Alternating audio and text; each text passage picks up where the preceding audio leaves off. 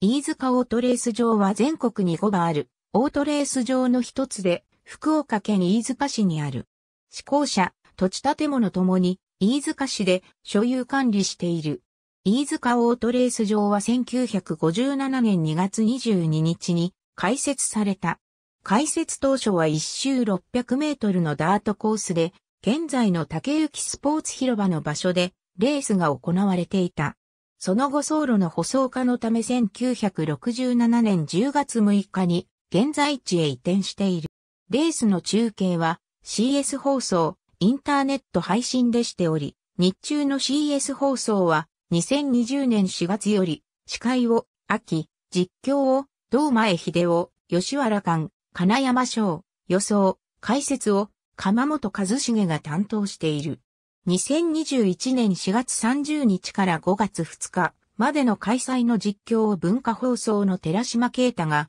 代理を務めた。かつては実況を宮本隆与え、司会を内野久照が担当していた。ミッドナイトオートレースの CS 放送は2019年4月より番組 MC を秋、実況、司会アシスタントを、堂前秀夫、吉原館、金山翔、予想、解説を、鎌本和重が担当。ニコニコ生放送、飯塚オートチャンネルのミッドナイトオートの放送の番組 MC を、内野久照、コーナー MC を名、ちちゃんが担当。過去には番組 MC を秋が担当。アシスタントを和田瞳、飯塚オートイメージがある勝利の女神四代目の三月が担当していた。2005年8月20日から24日には、ダイヤモンドレースが同場初のナイター競争として開催が行われた。しかしすでにナイター競争導入を開始していた伊勢崎オートレース場や大井競馬場等と異なり、専用の照明設備を常備する形式は取らず、移動式照明車を計14台搬入の上、走路内外に配置する形態で開催が行われた。なお2005年のナイター競争開催はこのダイヤモンドレースのみであった。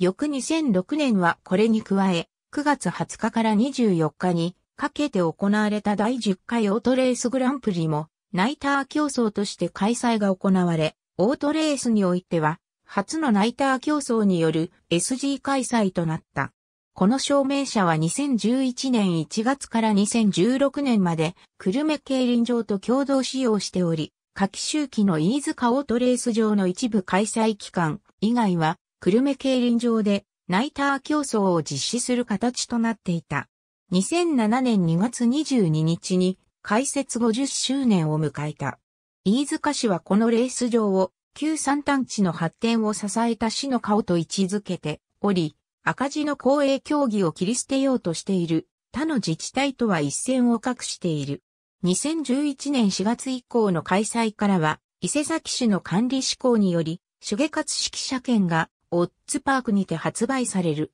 直東場を対象とした発売は、伊勢崎市の指定を受けた日のみとなり、4月28日から5月1日までの開催が初指定となる。2013年度末に累積赤字が14億円に達したため、飯塚市は飯塚オートレース場の運営を2015年度から民間委託することを決定し、日本トーターが受託している。2015年11月16日から18日までの開催はミッドナイトオートレースとして開催した。これはオートレースと同じく高が統括する競輪で行われているミッドナイト競輪同様のもので、この開催では試験的に初日は通常のナイター時間帯で、2.3日目はミッドナイトの時間帯でレースが行われた。なお、無観客開催やネット投票のみの取り扱いも競輪同様で、競争者の車体には川口オートレースで採用されたナイター専用マフラーを装着する。なお2016年度は12月から2月を除き月1回の頻度で開催され、2017年度からは月1回の頻度で開催されている。2019年度より、これまでグレードレースのみの開催だったナイター競争が普通開催でも開催され、2020年度からは月1回の頻度で開催されている。2020年10月、走路改修に合わせて移動式照明車から常設の照明装置に変更された。過去、一般開催の前半3レースの実況も担当していた番組卒業後は、勝利の女神の活動に専念。新型コロナウイルス感染拡大防止の観点から、本場、場外での車検販売は行わず、電話投票、インターネット投票のみで車検販売が行われた。ありがとうございます。